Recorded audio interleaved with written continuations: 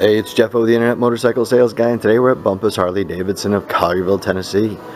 And this is a 2011 Black Fat Boy. Pretty sharp motorcycle, 96 cubic inch motor, and a 6-speed transmission. Floorboards up front. Come back around, they have replaced the rear passenger pegs with floorboards. See, was there, and it's got a set of mufflers on it. It's got the chrome wheels, a detachable sissy bar with an attached luggage rack. So when you pull out the sissy bar, the luggage rack comes with it. Changes the look of the bike. Big 200 rear patch on the back. Come around the other side. Heel toe shifter. This is a, a more of a larger passenger pillion pad also been added and changed.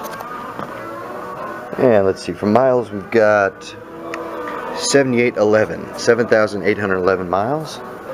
You got a cover on the fuel cap there.